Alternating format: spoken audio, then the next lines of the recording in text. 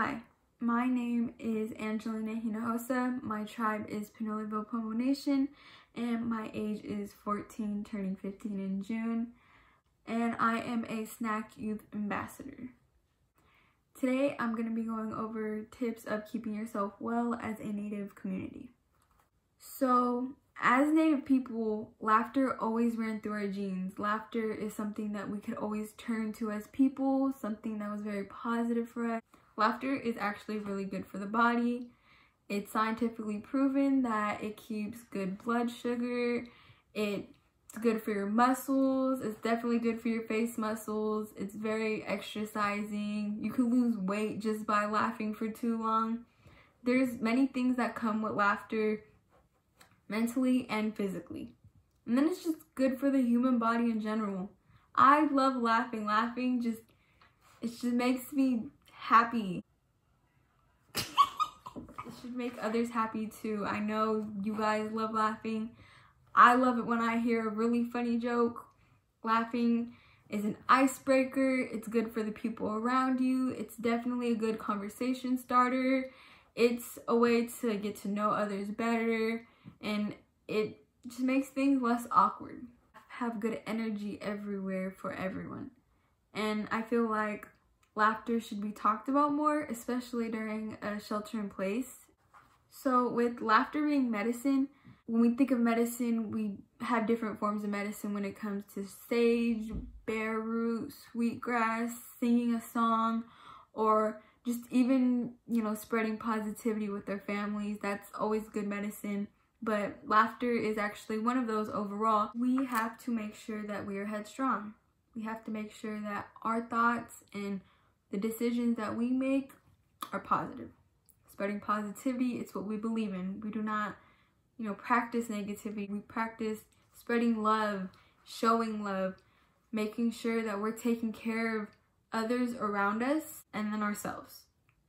I have to take care of myself first before I could take care of anyone else which is something that's very important that we need to practice. And I feel like right now it's a shelter in place and it's a good place where we can practice that starting with our family members. Um, I also want to go over some ways that we can keep our community strong. So when we keep our community strong and think of, you know, ceremony, but right now we are in shelter in place so we can't really practice a lot of ceremony.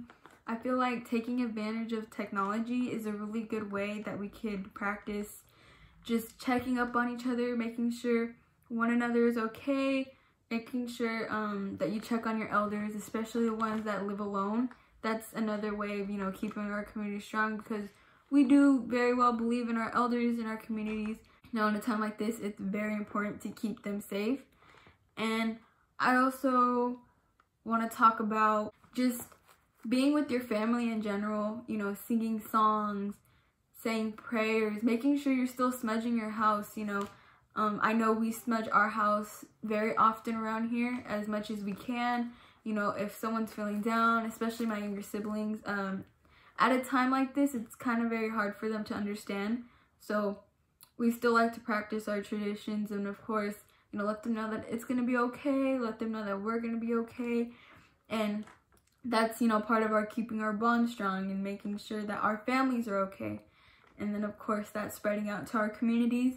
And keeping each other in touch is just a really, really good way of just keeping our community strong. Like I said, we have technology. We should take advantage of it. It's a really good time right now, too. And, yeah. So, with the tip for self-care, I actually have a list that I want to read for everyone to just kind of take in. And this is just more for yourself as, you know, as youth, as an older adult, or, you know, whoever's watching this, you can use these tips. Um, you could take time to identify the activities and actions that make you feel good. Find somewhere quiet and meditate as needed. You can reread one of your favorite books. You can avoid triggers. Watch shows that are funny and comforting. Take time to yourself away from others. So you can also get a full night's sleep regularly. So, you know, kind of have a sleeping schedule. I know mine kind of been off, but you know, just making sure that you have a good sleeping schedule. You know, you wake up at this time, you go to sleep at this time. Sleep is very important. Check in with yourself, you know, just make sure you're okay. You can take a hot bath, light a candle, and fill your home with favorite scent. Don't feel guilty turning down invitations or canceling plans. Take a day off of work if you need to. Write down a list of things you're thankful for. Remind yourself that this too shall pass read inspiring quotes, spend time outside, listen to your favorite band or song on repeat, ask for help if you need it. And I feel like that kind of just comes in having a community. You know, you can go to the people that are close to you. I know a lot of people will be there for you. Don't force yourself to do anything you don't want to do. Eat a balanced diet, but treat yourself to your favorite guilty pleasure. So like ice cream, chips, junk food, but still stay healthy. Write down what you're thinking and feeling. Breathe in and out. Unplug from social media. That's a good one. Exercise. Listen to a calming playlist. Pet an animal. Do yoga. Turn off your phone for a whole day. Schedule an appointment with a therapist. Watch your favorite movie or TV show, take a nap, do something that inspires or motivates you, make future plans for a trip or event that you're excited about, spend time with a close friend or family member, and remember that self-care is not optional, it's an essential. So that is just a list of things that you could take down. Some of them you could take in, you know, it's something very good just for yourself. So, yeah. When it comes to our Native youth, it's something that I want to touch on because I know a lot of people are going to be watching this video, but um, this one's kind of for the parents, I guess.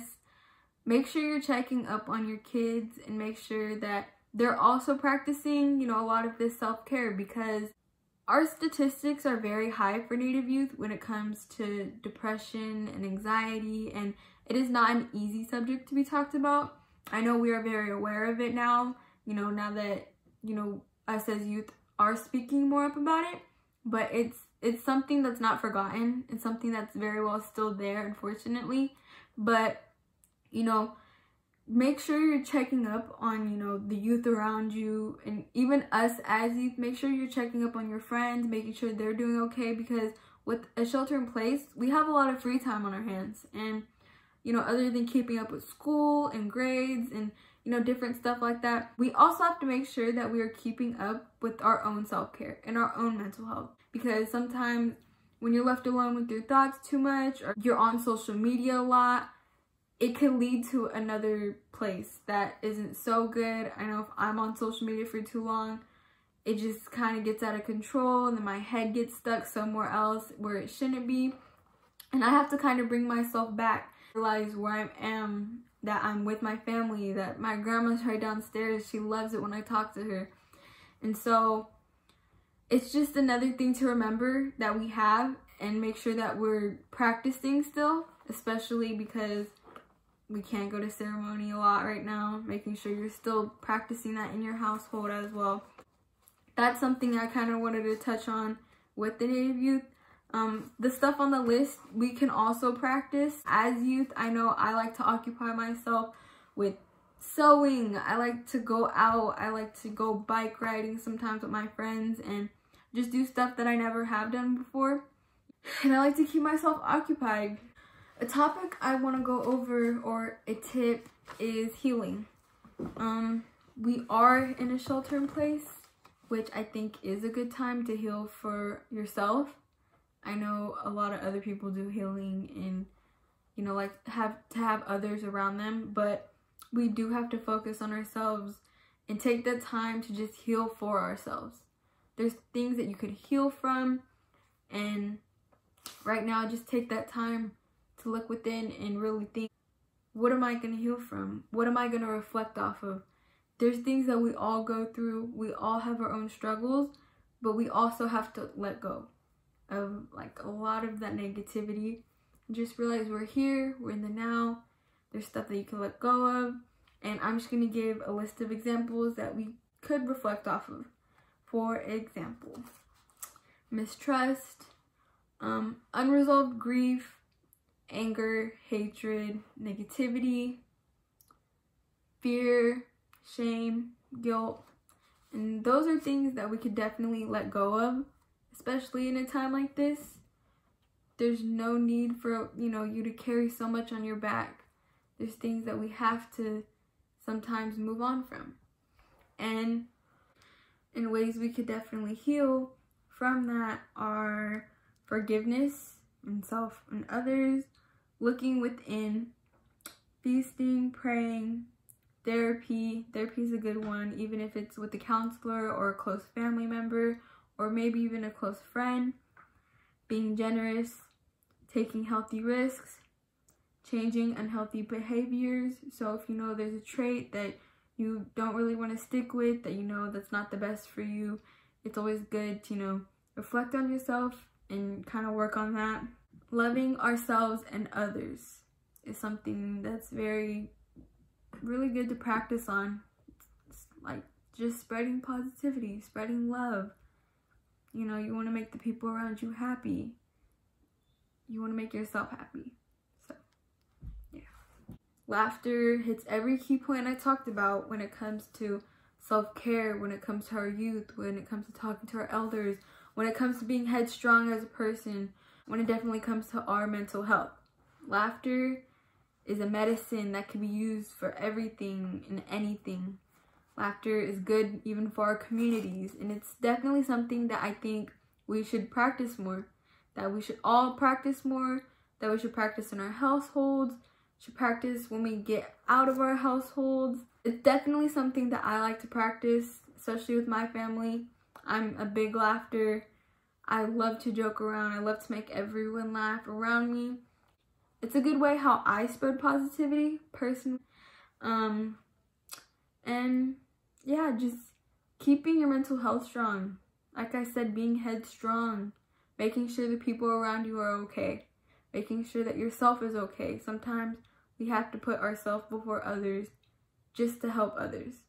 So definitely taking a lot of these key points and then when we get out of the shelter in place, hopefully we do soon, you know, we can practice that outside of our households.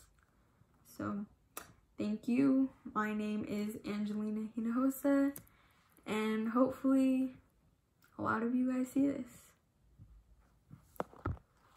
I can't turn it off.